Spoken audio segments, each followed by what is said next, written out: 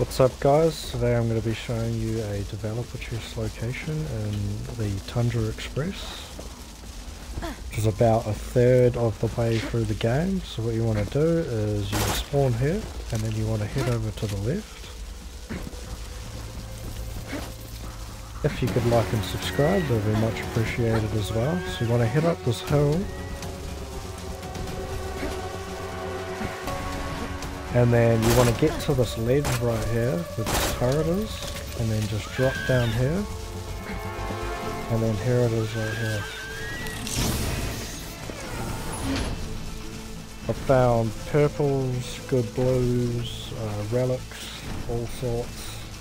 You can get legendaries from this as well. Um, and yeah, it's just a nice little secret chest, and thank you very much. I'll see you in the next one, and I hope you enjoyed.